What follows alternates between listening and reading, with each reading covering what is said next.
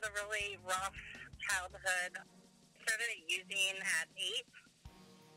When I went to my first half or treatment center, I did my 45 days, um, but the the courts didn't feel that that was enough and me to a halfway house in Austin, Minnesota. But they had us go to school at kind of like a um, alternative school, and that's where I met my first pimp.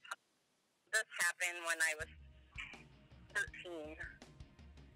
I was almost 14. Luckily, I don't even know how, but my mom and one of my aunts like showed up out of nowhere and just like came up and picked me up and like took me and flew me into their car. Um, and that's how my mom like the first time like rescued me from my first trafficker.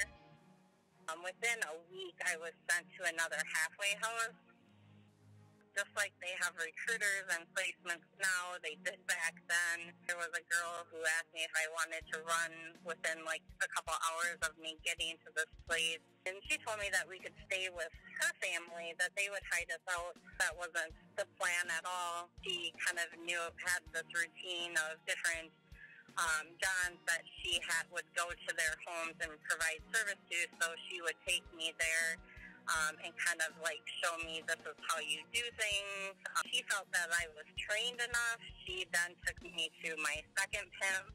So I was probably in the life two weeks before, again, somehow my mom found me and got me out of that situation.